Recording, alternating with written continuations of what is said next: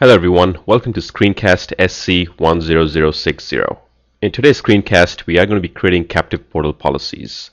Captive portal is uh, the authentication method used for guest access. So let's get started. In a captive portal policy, we define a hosting server. The hosting server hosts the web page to which the user gets redirected.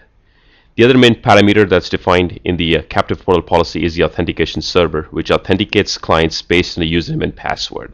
Once authentic authenticated, the client can then gain access to the network.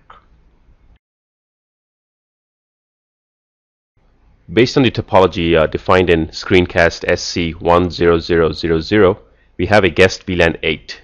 The uh, guest VLAN 8 has an IP address of 192.168.8.100. Any client that uh, guest client that connects to the access point is redirected to the web page hosted by the RF switch. Hence, our hosting server in this example will be 192.168.8.100. Once the user uh, puts the username and password on the web page, those credentials are then cross-checked with an external radius server, uh, which is running at 192.168.2.7. Uh, in our example, we will be using uh, the, the policies defined in screencast SC10000 and uh, the AAA policy that's defined in SC10040. I have loaded the config from uh, screencast SC10040 in which we created a AAA policy. To log into the uh, RFS uh, switch, our username is admin and the password was set to symbol. Now to create a captive portal policy, let's navigate to configuration, uh, then to services, click on captive portals and then click on add. Let's uh, give our captive portal policy a name. Let's just call it Moto uh, there are three modes for the hosting server. Uh, one is internal, one is centralized, and centralized controller. Uh, for today's screencast, we will configure uh, the centralized mode. We will cover the other two uh, modes in a different screencast. Our hosting server is going to be this RFS 7000 itself, where the web page has been hosted.